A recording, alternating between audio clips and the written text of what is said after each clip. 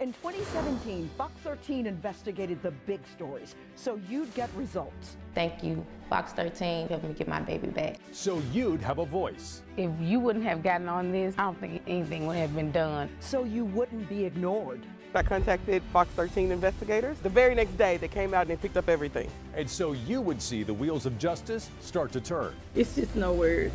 It's because of you. And in 2018, We'll continue to give you local coverage you can count on.